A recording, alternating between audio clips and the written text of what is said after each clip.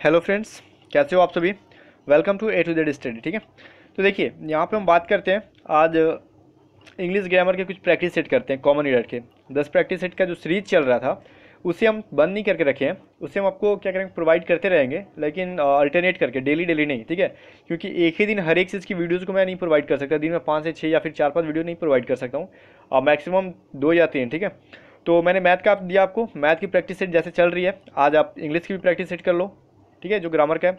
और एग्ज़ाम का लेवल जो होगा ना, आपको बिल्कुल भी यही लेवल का होगा। बिल्कुल भी टफ नहीं होगा। अगर ऐसा सोचते हो कि एग्ज़ाम का लेवल बहुत ज़्यादा हाई होगा, वो जो न्यू न्यू कैंडिडेट्स हैं, जो फ़र्स्ट बार एग्ज़ाम दे रहे हैं, वो लोग एक्चुअली डर गए हैं। मैं तो मैं देख रहा हूँ कमेंट में पढ़ते रहता हूँ।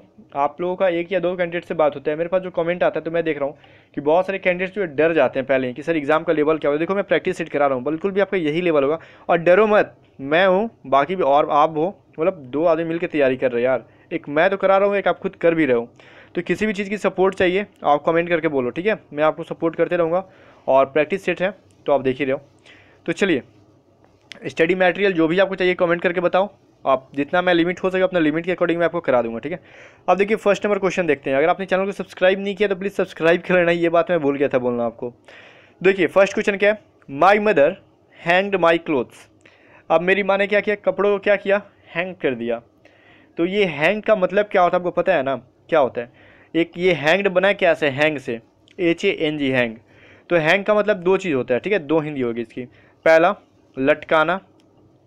सॉरी आप क्या पढ़ते हो? टांगना पढ़ते हो। कपड़ों को लटकाते नहीं, टांगते हैं, ठीक है? टांगना। दूसरा क्या होता है? फांसी पर लटका देना। ठीक है? हैंग का मतलब क्या होता है? फांसी पर लटका देना। लेकिन हैंग का वी जो होता है, वो भी अलग अलग होता है दोनों का। अब टांगने के लिए अगर वी निकालते हो तो H U N G hung होता है और फांसी के लिए जो होता है हैंग्ड होता है। तो बताओ, कपड़ों के साथ नाइंसाफ़ी कर रहे हो भाई, आप लोग फांसी पर लटका के यहाँ पे। तो ये हैंग्ड नहीं, बल्कि हंग होना चाहिए। क्योंकि अगर इस सेंटेंस का अगर आप हिंदी निकालते हो तो क्या होगा कि मेरी माँ ने कपड़ों को, मेरी कपड़ों को क्या फांसी पे चढ़ा दिया। तो बताओ, कपड़ों को फांसी पे चढ़ाओगे? नहीं ना। तो यहाँ पे हैंग की जगह पे एच यू एन जी करो, ठीक है? अब देखो, दो नंबर क्वेश्चन क्या वो हम देखते हैं। How much horses were there running in the last race अब बताओ कि लास्ट रेस में कितने घोड़े दौड़ रहे थे? अब तो यहाँ पे आपको समझ में आ गया होगा कि इरर क्या है। थोड़ा सा मैं आपको टाइम दे रहा हूँ कि आप लोग इरर ढूंढते रहो। मैं तो डायरेक्ट आंसर नहीं बता रहा हूँ। देखो how much horses we are they are running in the last race अब लास्ट रेस में कितने घोड़े दौड़ रहे थे? क्या कितने घोड़े दौड़ रहे थे? मतलब घोड़े क्या हैं? काउंटेबल हैं अनकाउंटेबल नहीं है। तो भाई ये मच का यूज़ कहाँ से कर दिया आपने? मैंने मच और मैनी में यूज़ बताया था ना। मच जो है अनकाउंटेबल नाउन के साथ यूज़ होता है। लेकिन मैनी जो है M A N Y many countable के साथ यूज़ होता है और साथ में प्लूरल भी रहना चाहिए। तो फ़िलहाल हॉर्सेज जो है प्लूरल तो है ही, इसमें सिमिलर है क्या हॉर्सेज है। तो यहाँ मच के जगह पे मैनी का यूज़ होगा। Clear how many horses we are they are running in the last races ठीक है? मच और मैनी का यूज़ से याद कर लेना, क्योंकि एग्ज़ाम में बहुत बार आते हैं। अब तीन नंबर देखो। The astronomer who predicts the future has arrived अब बताओ कि फ्यूचर को प्रेडिक्ट करने वाला आया है भाई, वो कौन है लेकिन? तो एस्ट्रोनॉमियर है। अब बताओ हमारे देश में एस्ट्रोनॉमियर कब से फ्यूचर को प्रिडिक्ट करने लगे हैं?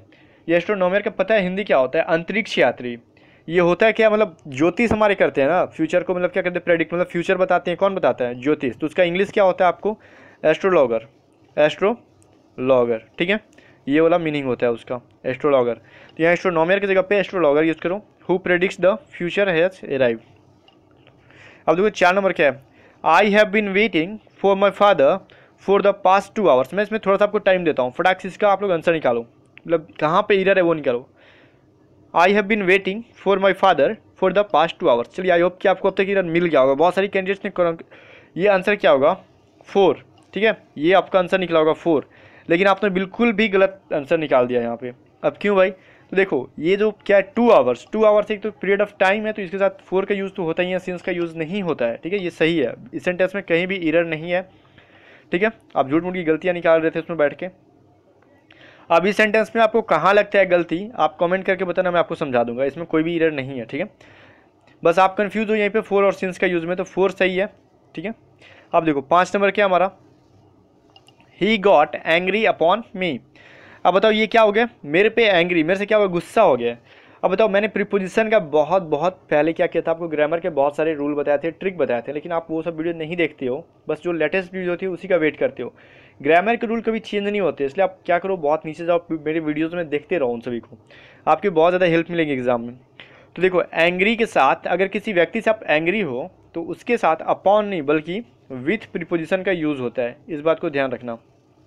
मैं धीरे धीरे इसलिए बता रहा हूँ ताकि आपको भी इसमें कुछ इरर ढूँढने का मौका मिले। अदरवाइज़ मैं तो दस क्वेश्चन है, दो मिनट में खत्म करके चल जाऊँगा। आप लोग बस, आपको पता भी नहीं चलेगा मैंने क्या बोला, क्या नहीं, ठीक है? इसलिए थोड़ा टाइम दे रहा हूँ कि आप लोग अच्छे से पढ़ लो। दस मिनट का तो वीडियो बनता है, ज़्यादा तो है नहीं, ठीक है? अब twenty miles are a long way to walk अब ये ट्वेंटी माइल जो है, एक लंबा डिस्टेंस होता है। ये वे वही लंबा दूरी है, टहलने के लिए लॉन्गर क्या है? लॉन्ग वे मतलब वही क्या है? लंबा रास्ता है। तो लंबा रास्ता ना करके हम ऐसे पढ़ेंगे twenty miles are a long way मतलब ये लंबी दूरी है टहलने के लिए।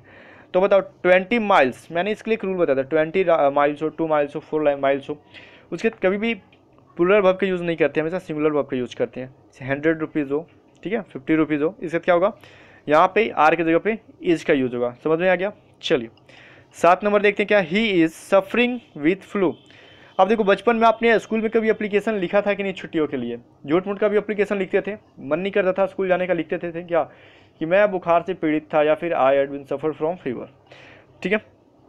तो क्या था सफ़र सफ़र के साथ कौन सा प्रिपोजिशन लगाते थे आप लोग? फ्रॉम सफ़र फ्रॉम या फिर सफरिंग फ्रॉम क्या? फीवर तो यहाँ पे क्या है? फ्लू से ही लोग फीवर है। ये जो सब फ्लू से फीवर मतलब क्या? सफ़र है मतलब पीड़ित है। तो यहाँ पे विथ की जगह पे क्या होगा?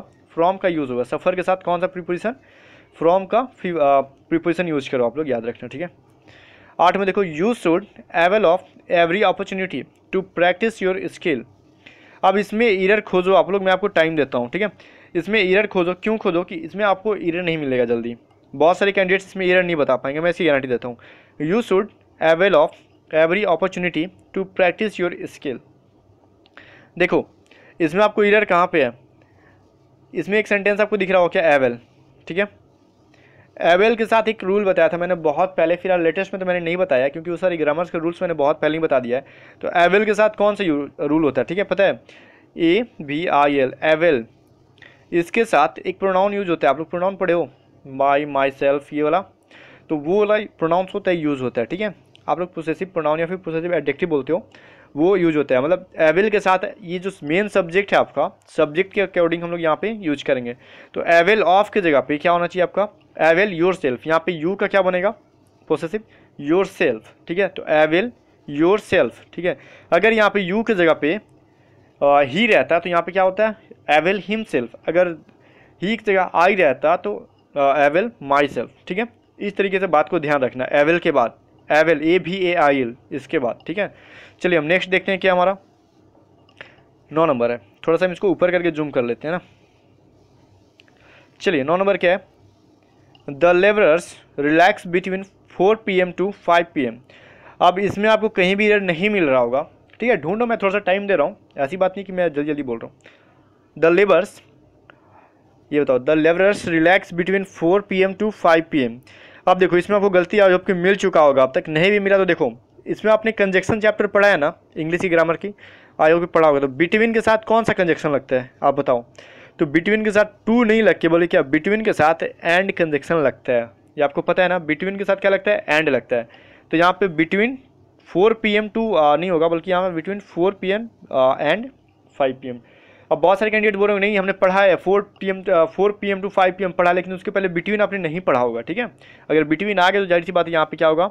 एंड का यूज़ होगा ही। बिटवीन के बाद जो प्रीपोजिशन सॉरी कंजक्शन यूज़ होता है, वो एंड ही यूज़ होता है। इस बात को याद रखना आप लोग। अब देखो, दस नंबर में क्या है? He told me that it was his friends Shankar's house अब देखो, ये दो के बाद क्या है? एफोस्ट्रॉफ्स लगा है, ठीक है? मतलब क्या है? फ्रेंड्स शंकर्स ये जब दो आता है ना तो सिर्फ़ एक मतलब जो मेन होता है या फिर बाद वाला होता है, उसके साथ आप लोग एफ़ स्ट्रॉप्स लगा के इस सेंटेंस को सही कर सकते हो, ठीक है? तो यहाँ पे हिज फ्रेंड्स के मेन नहीं लगेगा। हिज फ्रेंड्स शंकर्स ठीक है? हाउसेज ये घर किसका है? ये शंकर का घर है, ना कि उसके दोस्त का घर है, ठीक है?